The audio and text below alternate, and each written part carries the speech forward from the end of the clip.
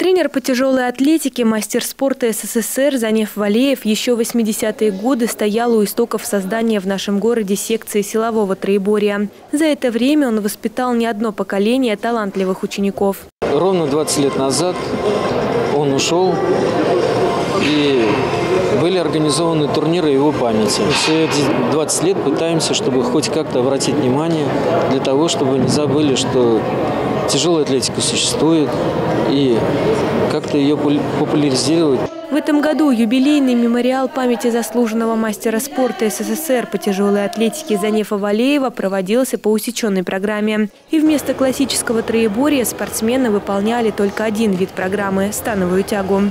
Каждому спортсмену давалось по три попытки, и с каждым новым выходом участника вес на штанге становился все больше.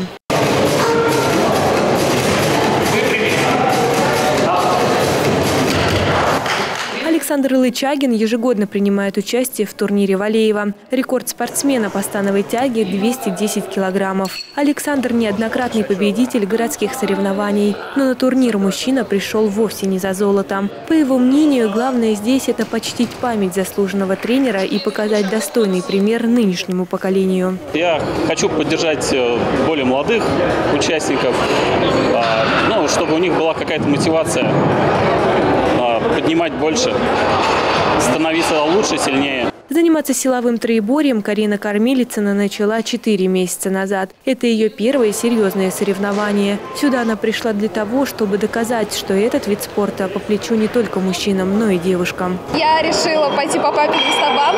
Он у меня был спортсменом по тяжелой атлетике кандидат мастер спорта. В турнире приняло участие 37 спортсменов в 10 весовых категориях. Победителям вручили памятные дипломы, медали и денежные сертификаты. Ирина Вышегородцева, Владимир Лисик. Служба новостей Саров 24.